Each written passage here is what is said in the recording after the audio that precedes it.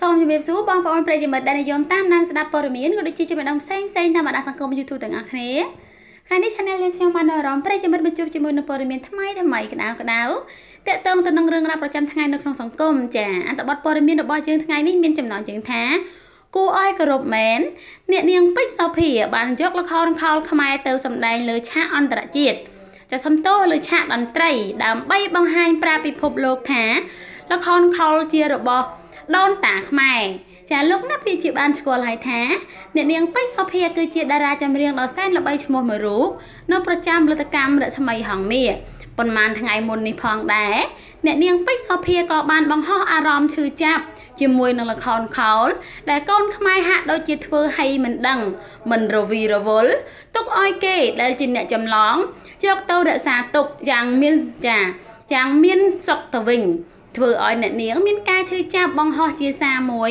នៅលើបណ្ដាញសង្គម Facebook របស់អ្នកនាងផ្ទាល់តែម្ដង ហើយមកដល់ពេលនេះអ្នកនាងក៏យក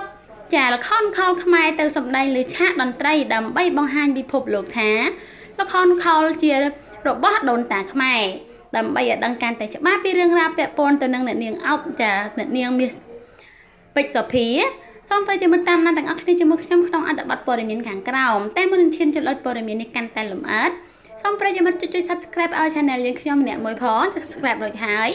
សូមកុំភ្លេចចុចសញ្ញាកណ្ដឹងដើម្បីងាយស្រួលក្នុងការទទួលបានព័ត៌មានក៏ដូចជាចំណេះដឹងថ្មីថ្មីមុនគេបងអស់ពី Channel យើងខ្ញុំ មានការចាប់អារម្មណ៍យ៉ាងខ្លាំងកាលពីថ្ងៃទី9ខែវិច្ឆិកាឆ្នាំ2019នេះក្រោយតារាចម្រៀងដ៏មានប្រជាប្រិយភាពគឺអ្នកនាងពេជ្រសុភា បានបង្ហោះសាររៀបរាប់ធ្វើឲ្យចាប្រាប់ថាស្រុកគេអត់ចាស្រុកខ្ញុំគេអត់រវល់នឹងរឿងនេះទេ មានអារម្មណ៍ថាឈឺទៅនៅជាមួយគេចោះគេមិនស្រឡាញ់អ្នកទេសុំទោសដែលខ្ញុំនិយាយពាក្យនេះ ចានេះគឺជាឆាតរបស់អ្នកនាងពេជ្រសុភាកាលពីប្រហែលថ្ងៃមុននេះដោយឡែកនោះទោះជាយ៉ាងណាអ្នកនាងពេជ្រសុភាក៏បាននាំយកល្ខោនខោលទៅសម្ដែងនៅលើឆាកប្រគំតន្ត្រីធំមួយ ក្នុងការចង់ឲ្យបងប្អូនខ្មែរភ្ញាក់ឡើង ដឹងពីល្ខោនខោលនេះ ជារបស់ខ្មែរដែលមាន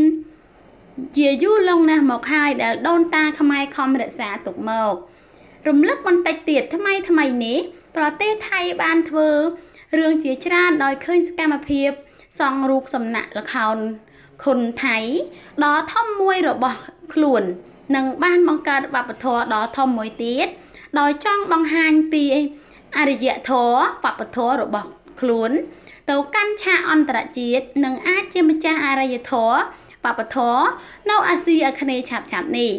យើងជាកូនខ្មែរគូភ្ញាក់រលឹកឡើងចែករំលែកចូលរួមស្វែងយល់ទាំងអស់គ្នា ចានេះគឺជាអត្ថបទតកតងទៅនឹងអ្នកនាងពេជ្រសភាដែលគាត់បានចាយកល្ខោនខោលទៅសម្ដែងនៅលើឆាកប្រកបតន្ត្រីដ៏ធំមួយចា